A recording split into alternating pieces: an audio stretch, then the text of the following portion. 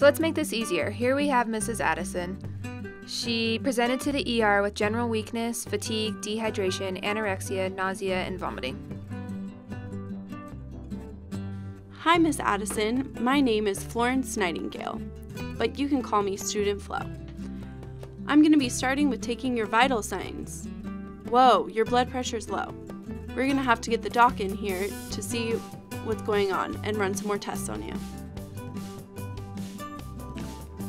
So, Mrs. Addison, we ran an ACTH stimulation test, which it measures the cortisol in your blood after an injection of synthetic ACTH.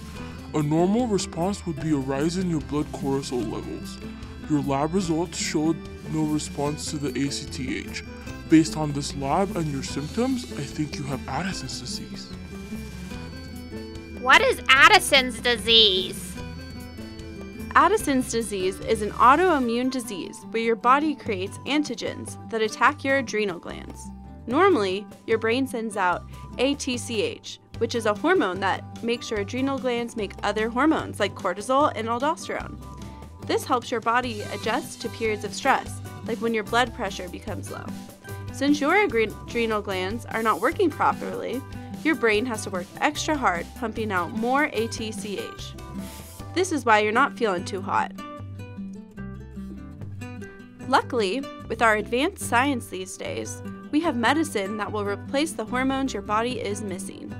Let me get my reference nurse so we can give you medicine to get you feeling better.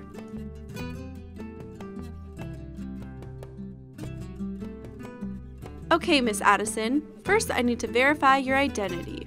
What is your first and last name and your date of birth? Olga Addison, 1 1 1965.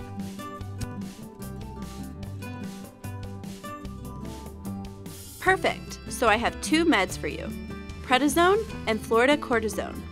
Florida cortisone is a steroid that replaces the aldosterone that your adrenal glands are not producing. This can have some side effects on your heart, so let me know if you experience any chest pain or your heart feels like it's racing. Next, we have prednisone, which is also a steroid. This replaces the cortisol your body's lacking. We will need to watch your glucose levels and keep an eye out for signs of infection. So if you feel like you're getting sick, please make sure to let me know. Two days later.